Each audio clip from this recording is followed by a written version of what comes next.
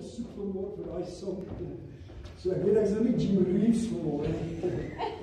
Want Jim Reeves het hom gesing. Amen. Maar dit is een van die ou treffers gewees.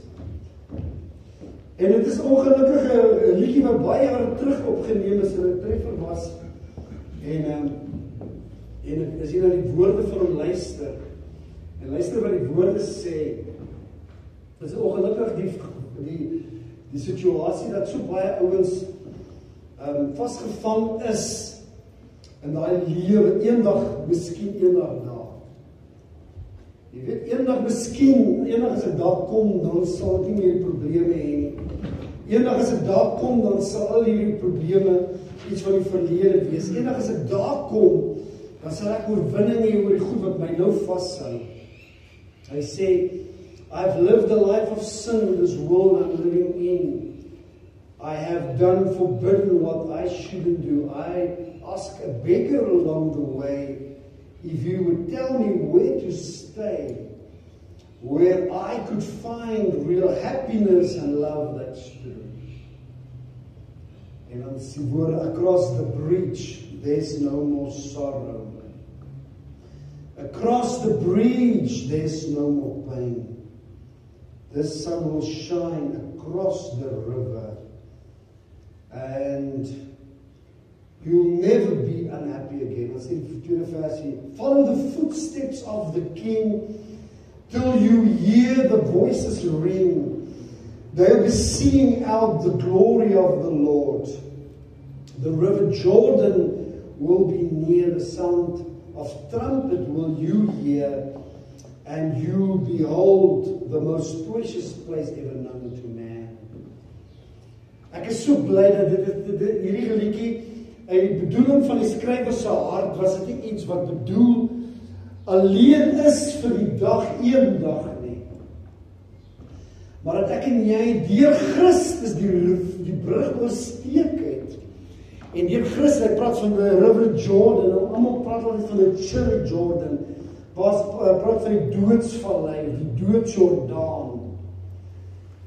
Jogg, en hierdie wil saam met my gepraat. Jy weet baie kere dan lewe mense in die in die toekomende lewe, in die hoop op die toekomende, in die hoop op eendag sal ek verlossing hê, eendag sal ek vrykom, eendag sal daar vir my nie meer pyn en lyding wees nie. En dan in hierdie lewe ervaar hulle vir uh, eh, nederlaag op nederlaag en hulle maak maak vrede met die met die omstandighede dink dis maar hoe dit moet wees en ek moet deur hierdie lyding gaan en ek moet dit wel lewe.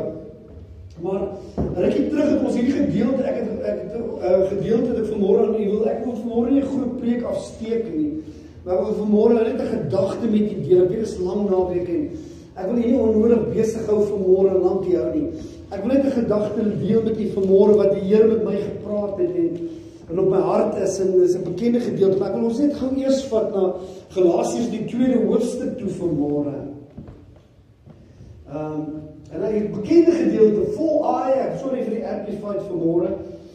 For I thought the law under operation of our uh, of the curse of the law have in Christ death for me myself died to the law and the law's demands upon me so that I may may henceforth live to and for God En hoor dit sê in vers 20 bekend I have I have been crucified.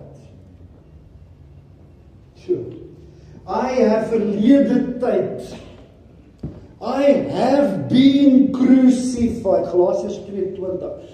I have been crucified. Um with Christ In him I have shared his crucifixion. It is no longer I who live, but Christ the Messiah lives in me. And the life I now live in the body, I live by the faith, uh, the, uh, the, uh, by the faith in. Hoor wat sê die amplified by adherence to and reliance on and complete trust in the Son of God who loved me and gave himself up for me. Mense, hier is een versie, maar hy's gelaai met soveel waarheid vanoggend.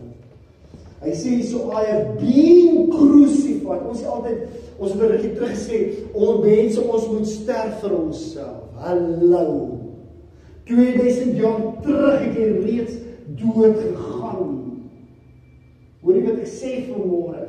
2000 jaar terug is jy is jou dood reeds bewerkstellig in Christus toe hy dood gegaan het.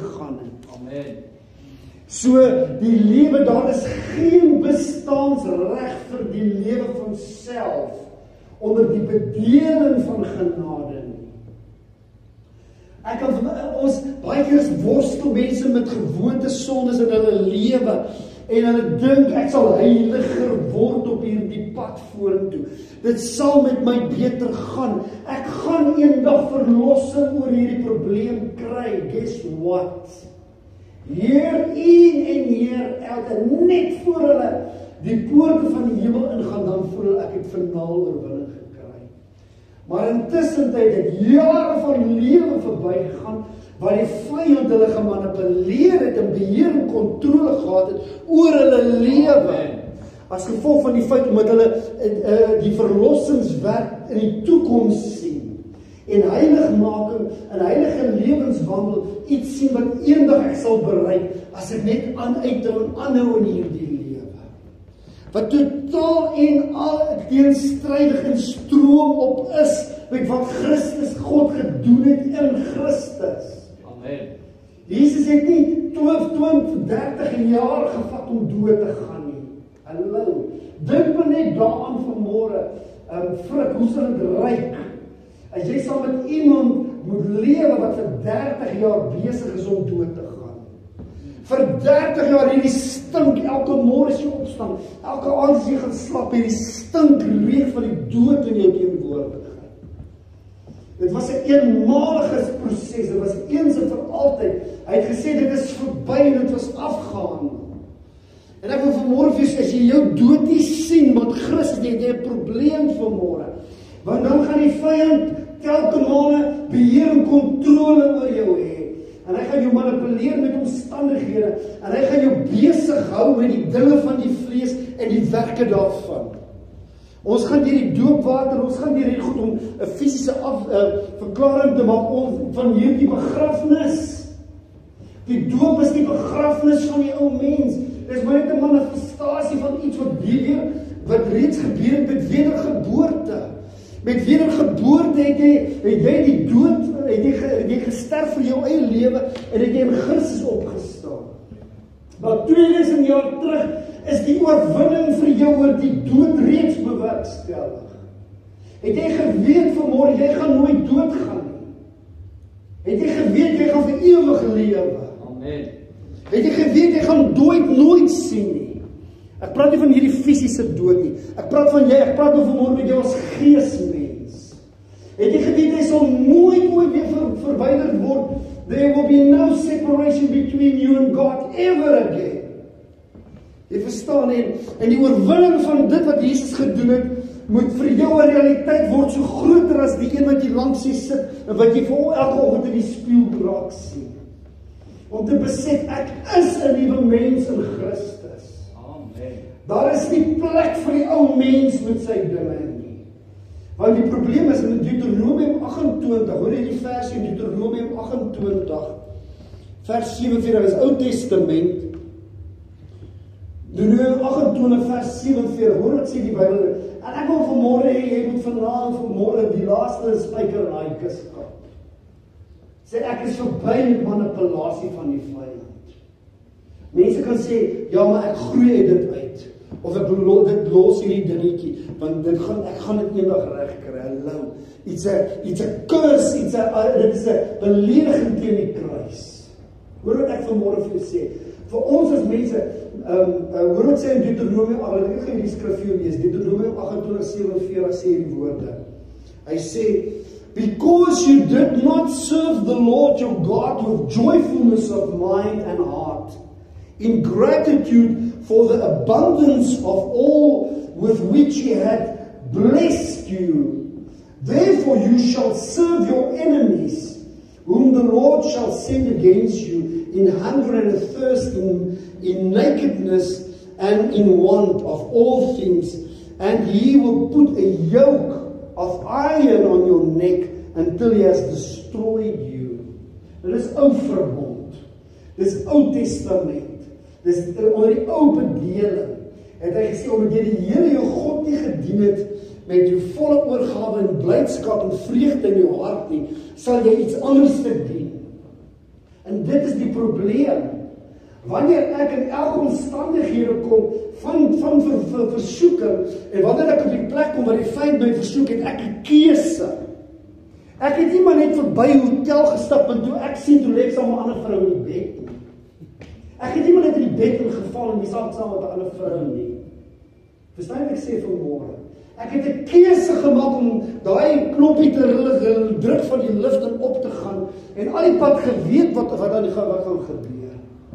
Jy verstaan so, ek het 'n keuse in elke omstandighede om te besluit, gaan ek buig my knie buig en gaan ek my diens aan die Here verruim vir diens aan die vlees en diens vir die ver van ongeregtigheid om hom te dien en om en soos 'n eysterreet wat op my nek gesit was wat besig wat my sal vernietig. Daar's baie ouens vandag wat groot kerk ouens is wat baie vroeg huis toe is. Sorry tannie vir hierdie spoeg. Eerste meter is gekom. Sit die sambreel aan. Daar's baie ouens wat vroeg huis toe is. Nie omdat God hulle geroep het nie, omdat hulle dit veroorsaak het, omdat hulle bly die knie buig het voor 'n ander God en hulle slaaf geword het van daai God. En ek word so ontstel in my hart as ek kan sien die die the wages of sin die die die die die loon van die sonde in mense se lewens en hoe mense gebuk gaan onder vervolging en onder onder kastyding en swaar gebuk gaan weens die vrug van daai werke van ongeregtigheid terwyl 2000 jaar terug dat oorwinning bepaal betaal is eens en vir altyd vir jou lewe. So ek wil hê nou vandag moet jy nooit weer jy die keuse, jy ry in jou kar, jy dink aan iets, jy die keuse om te besluit, die vyand skiet daai vuurige pyl op jou op jou verstand af en jy die keuse om te besluit wat gaan jy doen? Gaan jy toegee en gaan jy toelaat dat dat aggressiwiteit en woede van jou besit neem voor jy kom kry is jou vuis in die ander se mond? Of gaan jy aan die ander kant maar net kyk en jy gaan maar net in jou spoed hou en jou baan bly net reguit aangaan jy het die keuse. Hy kan jou nie kwaad maak nie. Jy het gekies om kwaad te word Jy het 'n keuse in elke omstandighede. En baie keer as gevolg van die verkeerde keuse in 'n oomblik pluk ons die vrug van daardie keuse en en en en vernietiging en en en mislukking is in die orde van die dag. So ek wil jou vanmôre sê, moenie oos as 'n ou ooit sê nee, ek is besig, ek groei daaruit en ek sal eendag daar kom. Dan vat jy met 'n Bybel dat hy kan wakker word want vandag is die dag van oorwinning. Vandag is die dag van deurbraak. Vandag moet jy jou rug draai dit. Ehm uh, Jesus het nie gekom, ek het seker op vorige geleentheid gesê, Jesus het nie gekom om ons te vry waarvan 'n vuurige hel eendag nie. Jesus het nie gekom om om om om toe toe om jy maar net tasbaar by die mens te wees hulle net gesê hallo God is nog daar hallo. Moenie moedeloos raak nie. Jesus het nie gekom om om om om 'n klomp oudjies bymekaar te maak en 30 jaar opleiding om homself te doen en 3 en 'n half jaar alles oor te gee en net te sê uh, I've been there done that I've got the ticket nie. Of the t-shirt Jesus het gekom om jou oorwinning oor sonde te gee Die woord sê dat for this reason the son of man was made manifest to destroy the works of the evil one. Jesus het nie gekom om ons te kom entertain en vir ons 'n prentjie te teken eendag as ek eendag daar kom gaan ek oorwinning hê nie. Jesus het oorwinning vir jou hier kom bewerkstellig hier en nou. Anderste, anderste is dit 'n uh, dan moet ons ons dan moet ons ons deure toemaak en ons vir niemand die boodskap van die evangelie bring nie, want dan maak dit vir ouens dit net erger in hierdie wêreld as as dit beter dat hulle nie dat hulle nie die pad stap wat ons stap nie. Die oorwinning is hier en nou en dit moet manifesteer hier en nou in jou lewe. Die groot ding is die vyand kom met godsdienstige gewoontes en wil ons besig hou met fabels en mens dink denkery in ons identiteit en ek sukkel vir 15 25 jaar net om nee te kan sê. Net om te kan sê nee, ek soek dit in my lewe nie. Jy hoor wat ek sê vanmôre. Ons sit vir 30 jaar sukkel ons om net te kan sê nee. What is wrong with you? You understand? Jy verstaan wat is fout met ons? Wat het Jesus se se kruisdood vir ons beteken? Jesus het gekom as 'n ou as as ons as kinders van God aanhou met met die werke van van die van die van die van van die God van hierdie wêreld, dan beteken dit ons het 'n keuse gemaak om hom te dien, nie God wat wat die hemel en die aarde geskaap het nie. Amen. Want as ek sê ek het tot bekering gekom, en ek hou aan met my gewoonte verkeerde dade waarvan ek dan tot bekering gekom. Dan die Here my mos nie gered nie. As ek sê die Here my gered en ek is gered, maar ek hou aan en ek hou aan en ek hou aan met my verkeerde goed en ek bly aan die verkeerde goed en waarvan is ek dan gered? Dan sê ek mos nie gered as ek dieselfde goed aanhou doen nie.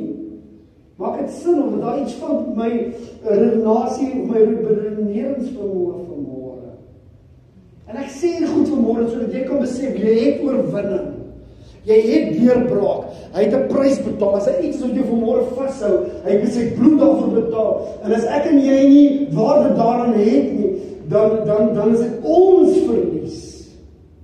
As die bloed van Christus vanmôre nie vir jou die die thumbs up is oor daai ding wat jou vashou nie en sê ek vernaal klaar met hierdie lewenswyse nie dan wil ek vanmôre vir jou sê dan dan dan dan dan, dan ons die die die die werk van Christus afgewater na 'n human experience only.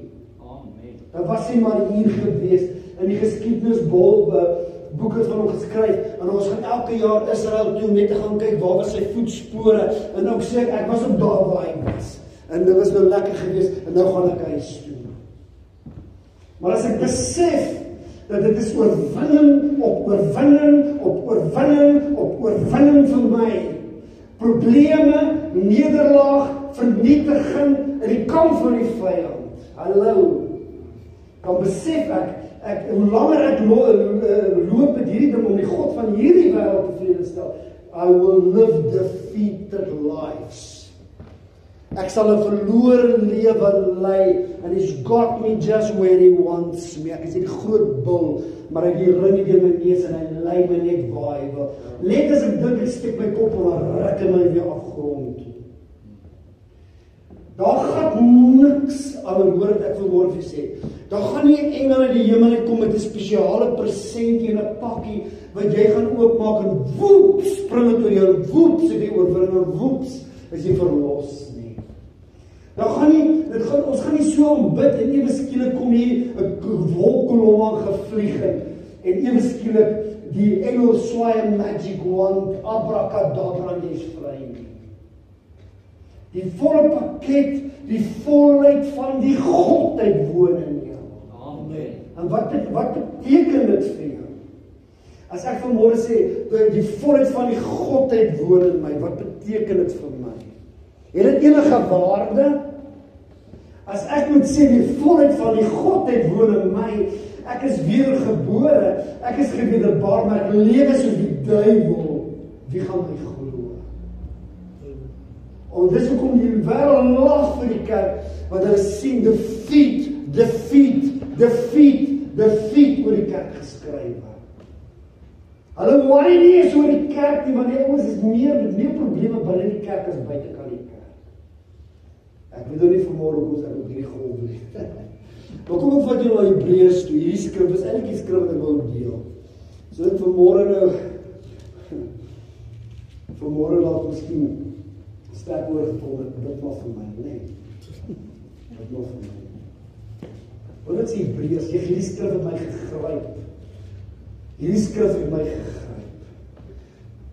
Hebreërs 1. Ek is sorry vir die Engels.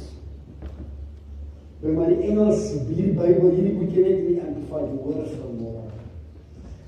In many separate revelations of which set forth a portion of the truth in many separate revelations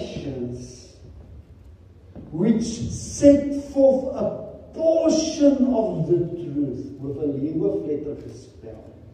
Jesus het gesê in Johannes 14, ek is die weg, die waarheid en die lewe. I am the the the the way, the the truth and the life. I was saying in many separate revelations of which uh, Hebreërs 1 vers 1 in many separate revelations of uh, each of which set forth a portion of the truth and in different ways God spoke of all to the forefathers in and by the prophets. Ek is so opgewonde. Hulle het maar 'n gedeelte van die waarheid gehad. Ons praat nie nou van ons praat nie nou van van van sommer net enige man en ons praat van Dawid. Ons praat van Elia. Ons praat van Jeremia. Ons praat van Jesegiel. Ons praat van hierdie profete in die Ou Testament. They had a portion of the truth. Hulle het 'n gedeelte van die waarheid gehad. Ou maat hulle het die sokkies van hulle voete afgeblaas. Kyk wat dit Samson gedoen met 'n gedeelte van die waarheid. Kyk wat dit Dawid gedoen met 'n gedeelte van 'n waarheid. But in the last of these days he has spoken to us in the person of the son. Ja. Hoor wat sê die woord? In hierdie tyd het hy met ons kom praat in die persoon van sy seun. Ja, hoe bevoorreg. Hoe bevoorreg is ons nie. God het in die Ou Testament deur sekere verskynings sekere kennis bekend gemaak, sekere openbarings gegee. Hy is in 'n wolk gemanifesteer. Hy het 'n vuur gemanifesteer. Hy het 'n lig gemanifesteer. 'n Brandende braambos gemanifesteer. Gedeelte van die waarheid. Gedeelte gedeelte. Maar in hierdie dag, hoe bevoorreg is ek en jy nie vanmôre dat hy deur die persoon van sy seun praat wat die volheid is van alles. Hoor wat sê dit hierso? Wat sê die woord hier? Whom he had he appointed heir and lawful owner of all things. Vermitswa die dag toe Jesus kom en hy staan in die tempel en begin hierdie ouens te leer, was die tyd van sy bar mitzwa. Hy word gedoop deur Johannes. God sê dit is my geliefde seun en wie ek welbaai luister na hom.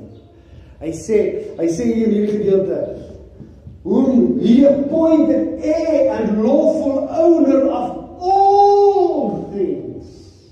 Alles kaartentransport, hoeklyn en sinker. Alles, alles, alles. Nee. Of all things. Look, hoor dit sê, owner of all things also hoor hier dit as jy nou nog nog kouse gaan aan ja hierdie storie, dan weet ek dat jy skoene nie meer reg op was reg. Hoor dit sê hierso. Owner of all things and also by and through him He created the worlds and the riches of space and the ages of time. He made, produced, built, operated and arranged them in order. Deur Christus het hy die wêreld geskep. Ja, mense. Hy was van die begin af was hy daar. En hy sit so tot alle tye. God het deur Christus gesê, laat daar lig wees. En daar was lig. God het deur Christus alles geskape. Hy het deur Christus hierdie planeet en alles gedoen. Nou dis nou nog nie die einde van die storie nie. Hoor wat sê hier, vers 3. He is the sole expression of God's glory, of the glory of God. Die woord vir glory is doxa. Doxa beteken die gemanifesteerde heerlikheid van God. Ander ander ander woord vir vir glory is uh, die uh, God se realiteit. Die realiteit van God. Hy sê hy um, hy sê he's the soul, he's the soul expression. Beteken hy het hom uitgekies. Hy het hom, dis hoe hy sê my enige gebore seun. Hy het gesê dit is my enige gebore seun, dis my seun wie ek nou waar. Hy sê he's the soul expression of the glory of God. The light being the outraying of or, or radiance of the divine. Ja.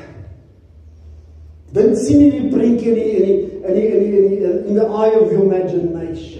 Sien Christus. sien jy Christus in die volheid van wat God is. Kan jy vir jouself voorstel? sien Christus in die volheid alles wat jy alles wat wat wat jy ken van hom, alles wat jy weet van hom, alles wat wat hy is is is is is, is die natuur en die karakter van God wat homself vorm in die persoon van Jesus Christus. Hy sê so um uh, divine and he is the perfect imprint and every image of God's nature. He's the perfect imprint and in and, and every image of God's nature, whether he upholding and maintaining and guiding and propelling the universe. Whew, I can amper staan. Universe by his mighty word of power. En ek was gevang deur the mighty word of power. Hy sê nie by the power of his word nie. Hy sê by the mighty word of his power. Nou gaan nou sê in in Johannes, Johannes die eerste hoofstuk. En ek dink laasweek het, het ek dink Frans het daarna verwys ook. Ek kan nie onthou nie. Hy sê hierso in Johannes 1. Hy sê in the beginning before time. Hallo. Hallo. Ek my tone krul om. In the beginning before time was the word. Christ and the word was with God and the word was God himself. He was present originally with God. All things were made and came into existence through him. Is hy nie opgewonde in Elia? Hè, Elia? Waterval sal nooit weer dieselfde wees nie. Wat is julle area? Hm? Oh, sorry.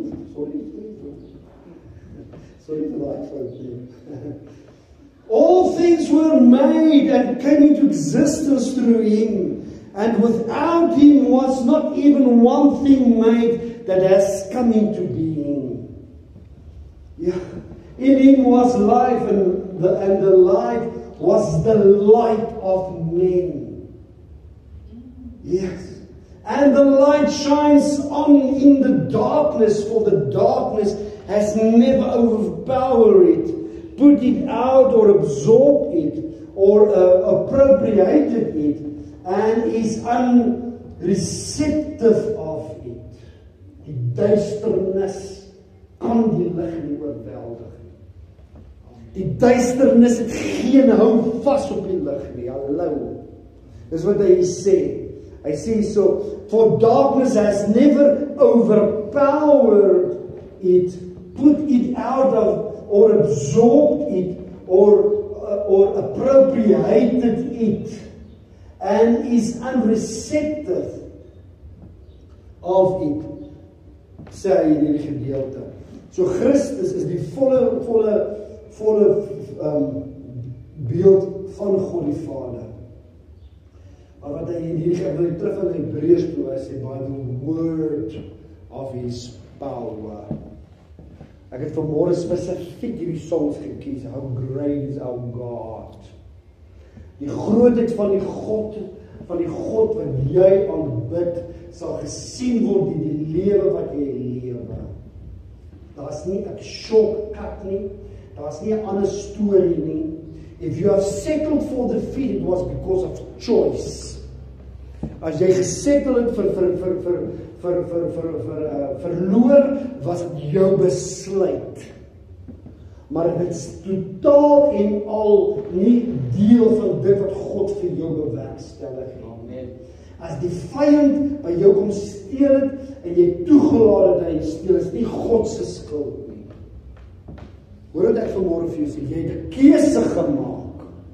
Hierdie dag behoort aan God en die volheid daarvan want hy het dit gemaak. So ek as sy dienskneg en diensmaag is te vol ten volle afhanklik om te hoor wat is sy begeerte en sy wil vir hierdie dag sodat ek hierdie dag I will write it down in to history for the glory and the honor of God alone. En ek gaan dit nie gee dat die vyand enigstens sy stink vuil neus erns kom indruk en kan dink hy gaan my dag hijack nie. Hierdie oomblik van my is my en God se oomblik. Hierdie lewe van my is maar 'n ding wat vir 'n rukkie verskyn en daarna verdwyn, but it belongs to God. En ek gaan nie toelaat dat die vyand dink ek is die sokkerbal waarmee hy my gaan rondskop links en regs nie. Ek wil hê jy moet so kwaad word vanmôre vir die werke van ongeregtigheid.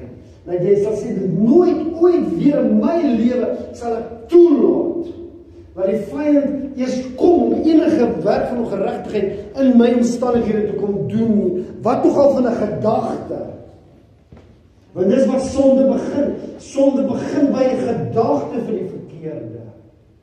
Nou kan jy verstaan hoe hoe hoe antagonisties dit moet wees. Ek kom by Lia se huis.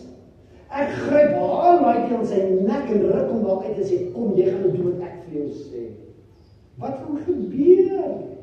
Sy gaan die stoompot vat en sy gaan my in 'n ander dimensie insit. En ek gaan nie uitry met my kar nie, ek gaan uitvlieg van die plot af. Want sy sal sê hierdie is my kind, jy het geen reg op hom nie. Dis wat jy sê. Jy het geen reg op die kind nie. Hoe gaan ons in geen net eienaarskap oor in die werke van die vyand? Om met ons te kom op wat God se eiendom is, wat deur die bloed van sy seun betaal vir ons lewe, dat die vyand maar net kan inkom elke dag en bring destruction in my life. Bring my net vernietiging en ek dink ag ek is maar op my pad hemel toe. En dan kan nie nou oor binne oor hierdie ou goedjies kry. Maar as ek ander as ek ander oefen in grace of gym, eendag gaan dit dalk miskien muscle hê. En as ek ander van daai steroids spyt, gaan ek miskien hierdie ou gewig kan optel en oorwinning hê. Wat 'n getranswaardige situasie. If they can't see God in you, they will never know God.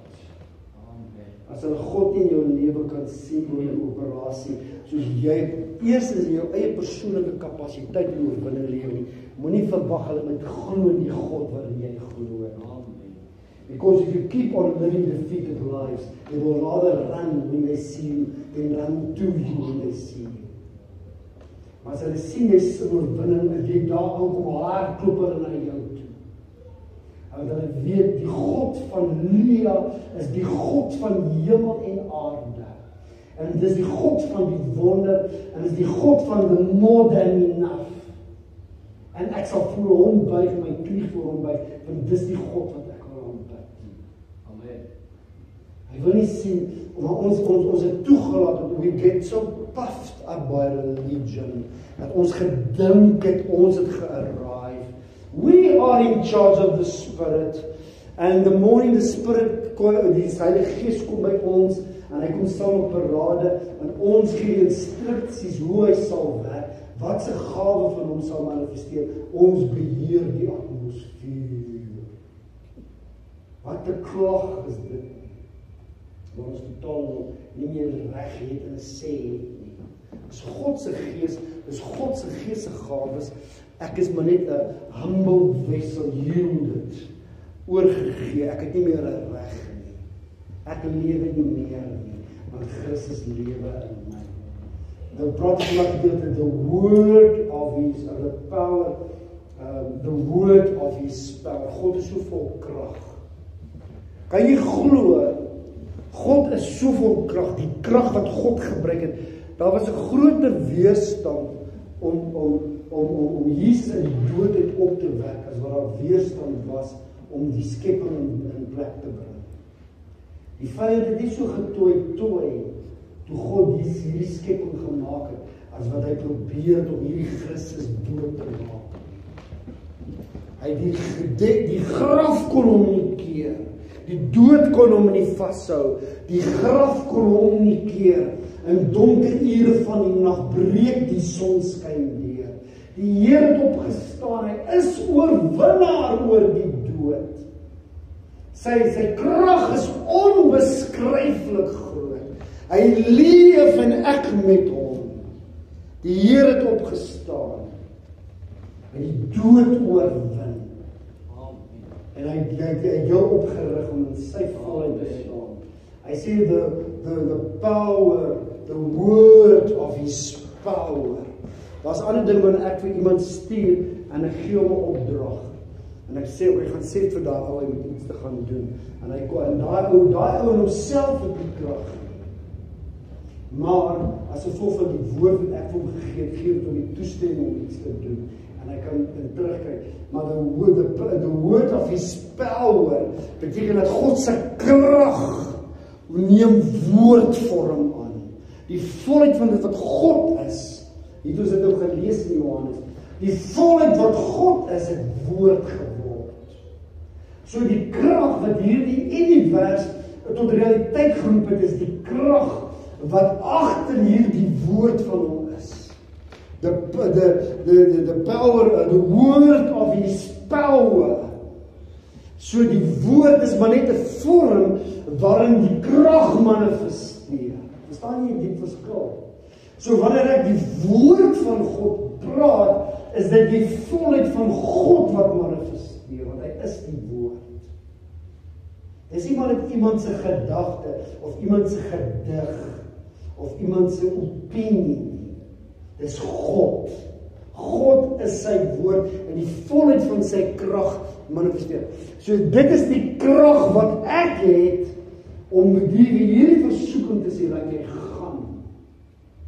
God se krag wat manifesteer, dis nie my krag nie. Ons het soeke baie elektriese instrumente goed hier voor. Ons het daai JBL speakers. Ons het 'n Akai keyboard daar. Ons het 'n Behringer amp daar. Ons het 'n laptop daar. Maar al daai goed met die naam en die brand gaan nie daai goed beteken sokkerbol sonder Eskom. Sonder Eskom is dit net ornamente. Daai speakers wat R18000 kos word weer stop. Vir die kragbom. Dit is van niks anders. Ons het gedoen, dis ons wat so oulik is.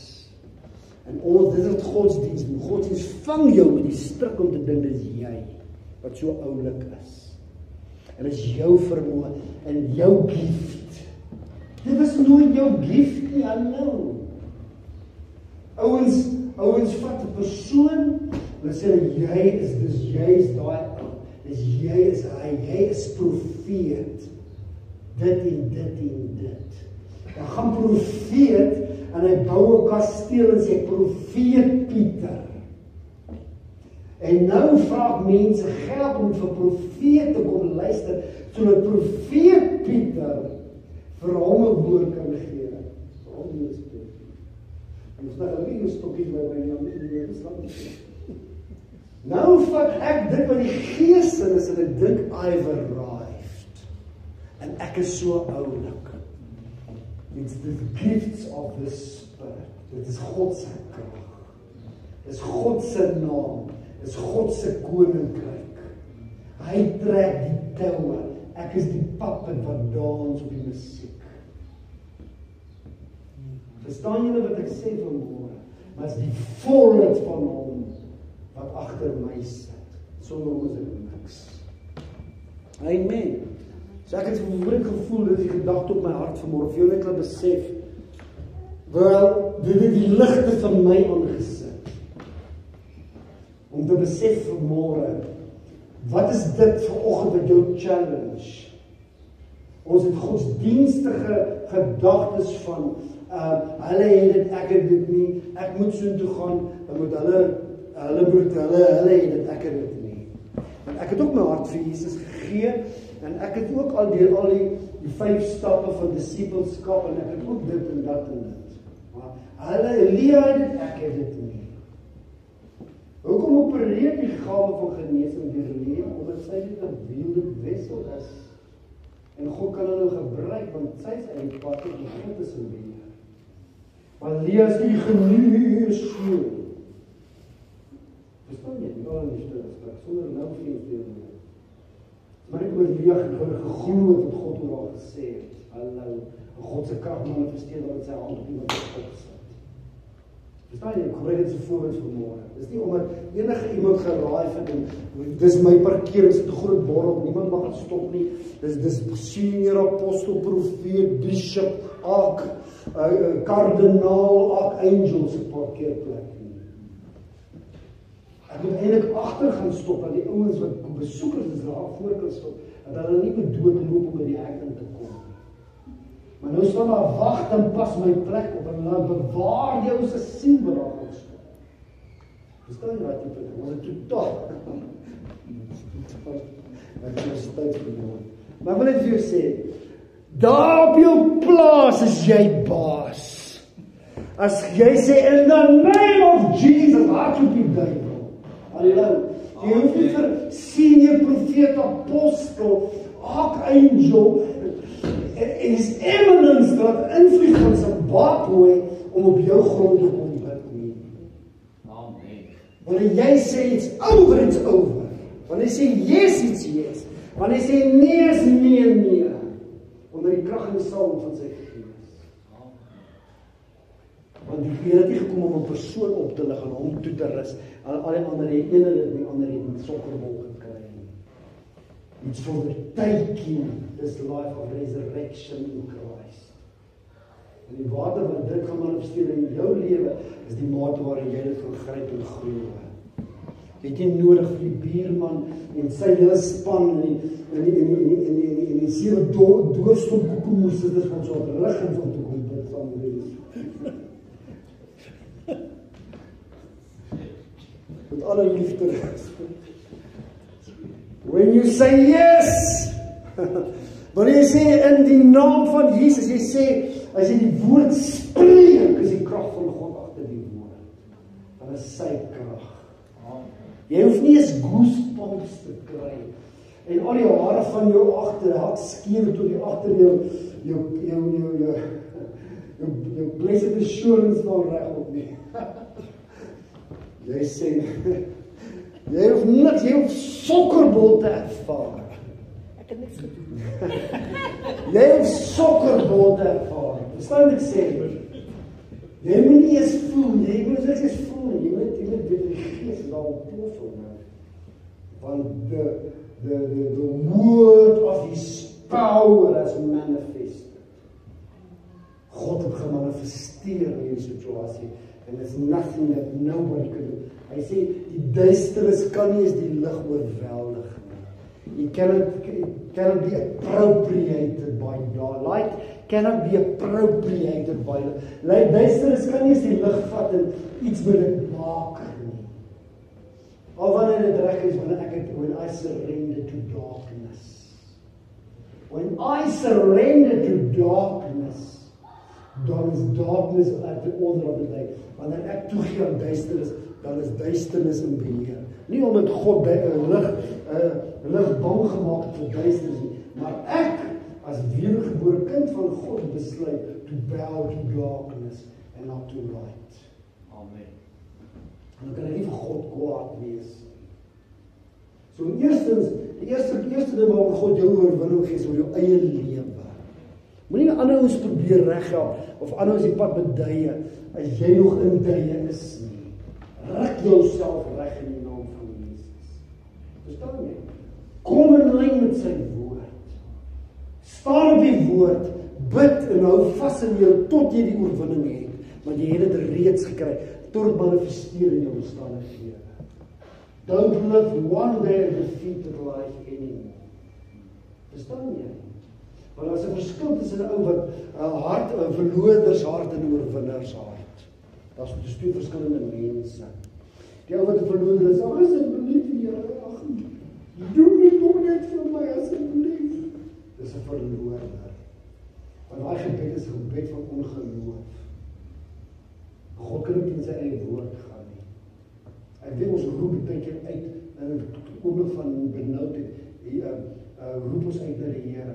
Maar in desperaatheid moet ons weet wie hy is. Maar oorwinnaars wat sê dankie Here in die naam van Jesus. Ek oorwin deur die bloed van die lam en die woord van my getuienis. Amen.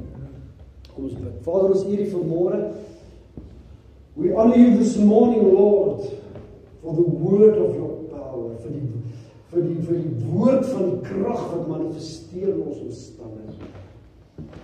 Here laat ons nie eendag verder sal toegee aan aan 'n verloorders mentaliteit nie.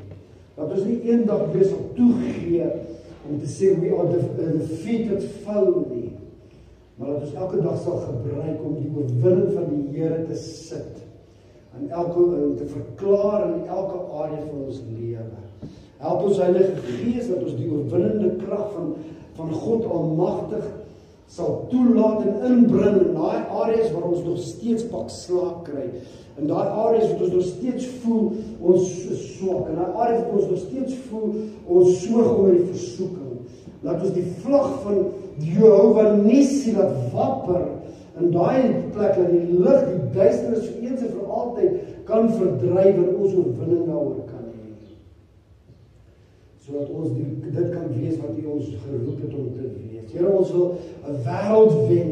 Ons wil buite toe gaan, ons wil die strate hardloop, ons wil mense red, maar ons is nog self op 'n plek wat ons 'n defeated life live. We are living defeated lives because back at the rounds the enemy is rolling over us. Hy's soos 'n stoomroller wat ons toelaat dat hy heen en weer oor ons ry omdat ons glo nie ons is dit wat u woord sê ons is nie. En ons onderskat die krag van God in werking in ons lewe. Dankie vir môre vir hierdie mense wat gekom het Vader. Dankie dat we can that we know through us you will change the world. Through us you will change our world when we allow you in. Soos ons u soos ons grondgebied oorgee en surrender surrender. En ons sê wat Paulus sê ek lewer nie meer nie maar Christus lewe in. Vader, dank ons dat ons die oorwinning daarvan wil smaak. Want Christus is nie meer die graf nie. Hy het opgestaan as oorwinnaar oor die dood. En die dood in die openbaar en toegestel en oor hom getriomfeer. Dankie dat ons oorwinnaars lewens kan lewe. Dankie dat ons leefwyse alle mense sal trek hiernatoe. Na die grace familie toe En hulle sê ons wil ook daar wees waar julle wees want want julle lewe anders is die wêreld. Julle lewe oorwinning. Julle oorwin elke dag in julle lewe. Ons wil ook oorwinning hê. Sodat ons lewens anders sal beïnvloed